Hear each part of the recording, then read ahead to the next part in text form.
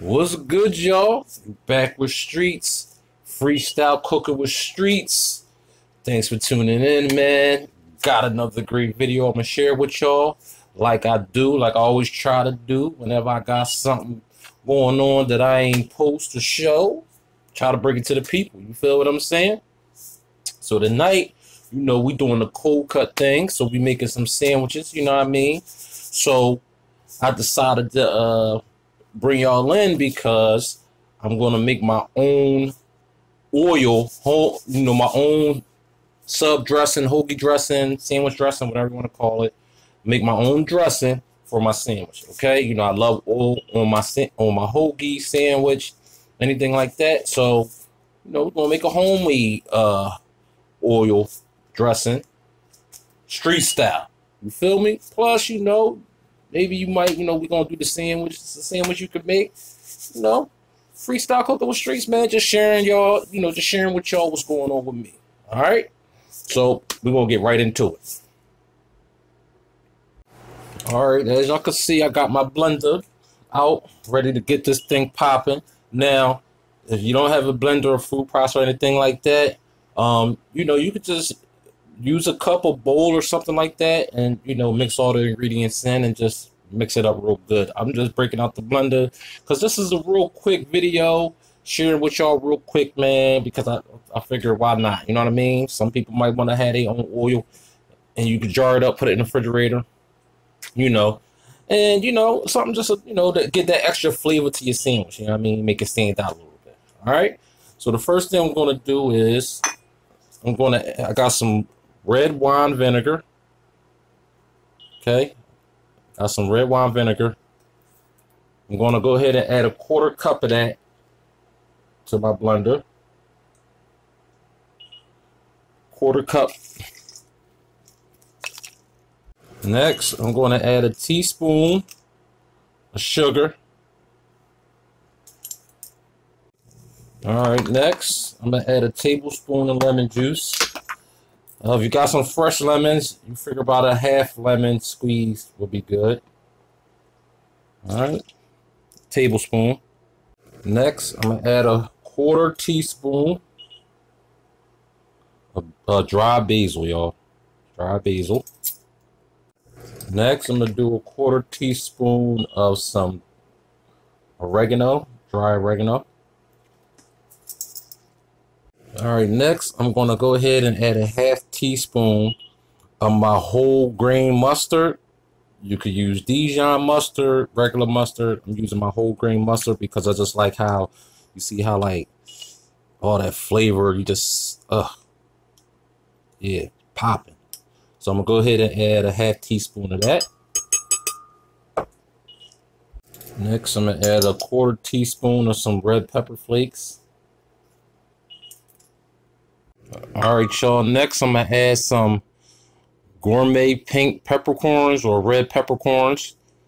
Okay, and just like uh black peppercorns, you know what I'm saying? You know, most of us buy the grounded black pepper already grounded up, of course, and some of us use the whole uh peppercorn. You know what I'm saying? That you can either crack, throw in a sauce whole, you know, a lot of different ways you could use peppercorns, but you had the white, the green, the black, the, the pink, and just the basic difference of it are the, just the taste and the intensity of the pepper. Okay, now these are, are kind of like um, I would say a sweet, spicy like, but on the light side. Okay, you know, not as you know strong as the black peppercorn, but it's you know got a nice little flow to it. You know what I'm saying? And you know, you could use these, you know, crack, you can crack them, you can grind them fine, you know, bring color to a recipe, you know what I'm saying? Or add just a, you know, fly little taste to it. You dig? So, uh, well, most of the time you find these in, like, I can't find, I didn't, like, I don't never find uh the red peppercorns or the pink peppercorns in my market. I found this in like a, a home goods store where I get my seasoning at. You know what I'm saying? You know, like a TJ Maxx or Mar- Marshalls or uh, Ross or something like that, where they sell like gourmet seasonings. I actually got this out of the Home Goods, so you know I had to grab it. I always try to grab it if they got it. You feel me? All right. And most of the time, you can probably find, you know, you probably go online if you want these. You go online, get them, try them, y'all. You know, not expensive. You know what I mean? You get like a little eight ounce bag for a couple bucks. You know what I'm saying? But um, you normally can find like the green peppercorns, white and black mix. You can usually find that in your seasoning aisle. You know, maybe I'll do a video on the different peppercorns when I use them or not. I use the black peppercorns all the time in, my grinder. You know, so but we're going to add this to our dressing, y'all. Okay? I know I'm talking y'all head off, but I'm breaking it down in case nobody you know, never knew about red pepper, basically. Because if you grind it up real good, it, it grind it like ground black pepper, it'll be ground pink pepper. All right, so I'm gonna go ahead and add a, about a quarter teaspoon of peppercorns. All right, because I'm gonna also add some I'm gonna also add some black peppercorns. Okay, so here I got my black peppercorns already coming to grinder, McCormick. I just want to go ahead and grind up maybe about a quarter teaspoon too. There we go. All right, y'all. Next, I'm going to go ahead and add in my sea salt with the smoked paprika. You know, I always had trouble uh, pronouncing this brand but they got different salts, different mixtures of salts. A couple videos I use a different kind of salt. I got a couple different ones. You can order it online, but it is definitely good. It's just a um, regular plain sea salt. It's a mixture, flavor, banging, y'all. You feel me?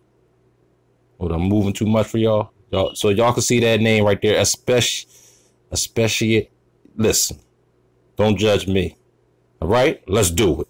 So I'm gonna go ahead and put about a quarter teaspoon right up in there, y'all. All right, now we almost done, y'all. So now I'm gonna go ahead and add, I got about a half a shallot.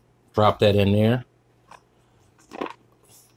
About, I got these little, I got, like I got, I always keep fresh garlic cloves on hand. So in my bag, I had just a little bit left. So I took these little, really small ones, but you only need like one clove. But I took these small ones that I add up to probably like a clove. You know what I'm saying? But you want to go ahead and add a clove.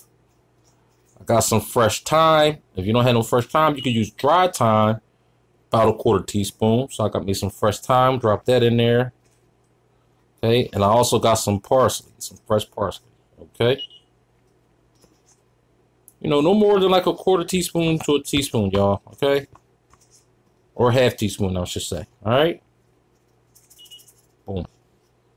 Okay. And we're also going to need, okay, some olive oil. All right. All right. Got my olive oil. Okay. We're to need the olive oil, but we're to pour that in as it's mixing. All right. We about to get this in, y'all. All right. Let's do it.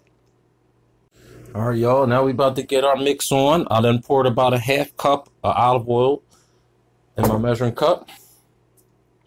All right, so we're gonna go ahead and get this mixed up, y'all. Let me put my thing on there. We're gonna mix this up. All right. And as it's mixing up, once we get it mixed up, I'm gonna slowly pour my olive oil in, y'all. Slowly pour the olive oil in.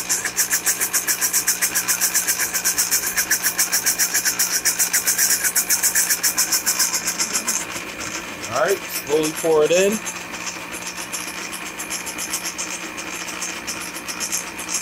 Alright, y'all, we done blending. There we go. Ooh, look at our dressing, y'all. Look at that dressing. Pour them on out.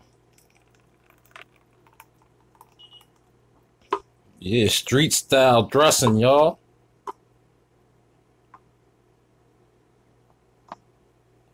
Oh.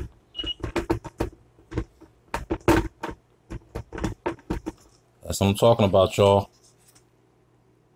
There go our dressing, man. You got some mason jars. See, and I only made a little bit, but this little bit will last me a, a minute. You know what I mean? Because it's only going, I'm only using it on sandwiches. Okay? So we go ahead and make my sandwich and get some of this dressing up on there. All right. So you know, you go to your hoagie shop, you like how they do their oil, or you know, you can buy you can already buy hoagie dressing out the market, but sometimes you might want to have your own flavor. And this right here is smelling good. Like I, and I got the fresh herbs up in there. You know, I also got the dry herbs, but the fresh herbs and it's all oh yeah, y'all. Oh yeah, y'all. This gonna be banging on the sandwich, man. You feel me? Let's do it.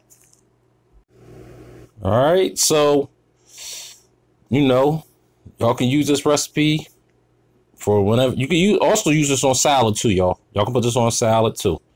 Okay, anything you like dressing on. All right. So just bringing it to y'all real quick, live and direct, man, in the middle of my cold cut night. You dig? So please subscribe, share, like, hit that notification. You know, appreciate y'all watching, man. You know what I'm saying? Hit that bell, get those, get those. Yo, I got these videos coming, man. All right. Thanks for looking. Holla.